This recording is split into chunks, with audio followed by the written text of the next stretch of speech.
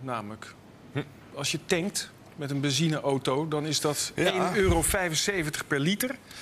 Waarvan 1,05 euro accijns. Ja, waarvoor dank. Maar eh, tegelijkertijd, eh, het gaat om veel geld. Hè? Dus eh, het komt nu voor dat je soms meer dan 100 euro... Ik had dat laatst zelf bij de hand. boven de 100 Wel eens, Ja. Ja, goed, ik privé rijd mijn eigen auto en dan, dan lopen de bedragen aardig op. ja. Dus weet u wat het gaat kosten straks om 130 km per uur te rijden? Ja, maar dat bent u ook sneller thuis, dus u rijdt korter. Dus dat scheelt. Ja, nou volgens mij net. Maar goed, die 1,05 euro, is dat voor een VVD-premier eigenlijk nog, nog, ja, nog te, te hanteren? Is dat nog te verdedigen? Kijk, waar u op hint is, zou je dan niet als die benzine, als die olieprijs stijgt, zou je dan niet de accijnzen moeten laten dalen. Eh, dat gebeurt nergens in Europa. We hebben een belastingmix in Nederland.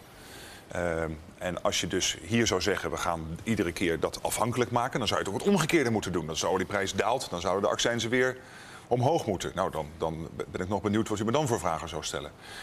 Tegelijkertijd zou je de belastinginkomsten doen verminderen door daar eh, een soort van een communicerend vat van te maken, de olieprijs en, en de accijns.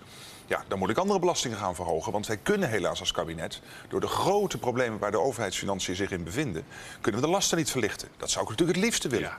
Het CDA zou dat ook graag willen. Hè. Dit kabinet is vanuit het DNA instinctmatig, geldt ook voor de PVV, is een, is een lastenverlichtend kabinet. Het antwoord is dus ja. Dit is goed te verdedigen voor een VVD-premier... dat er Ja. 1,05 euro accijns op eh, 1,75 euro benzine wordt gegeven. Helaas, Helaas. Doen we niks aan. Nee. Hoe belangrijk we de auto ook vinden. zeker. Ja. Nou, dat is in ieder geval een heel helder en duidelijk antwoord.